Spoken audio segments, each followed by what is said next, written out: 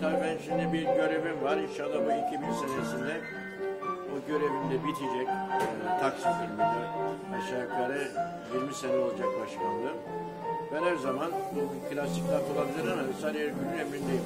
Bana ne görev verirlerse, ne yapar, seve seve gelir. Mevki de aramam, rütbe de aramam.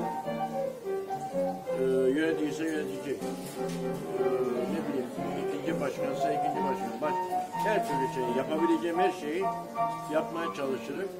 Benim bir de kendim ya hırslı bir insandır ben. Şöyle ki, e, yani bir yerde görev almam için görev verilirse o, oraya çay kahve içmeye gitmem ben. Bir şey yapacaksam, bir şey verebileceksem bunu yaparım. Yoksa derim ki müsait değilim, zamanım müsait değil derim, yapmam. Onun için tabii ki seve seve, neden olmasın? Sadece diyorum benim okulum. Öğrendim. Şimdi de çok daha başka şeylerde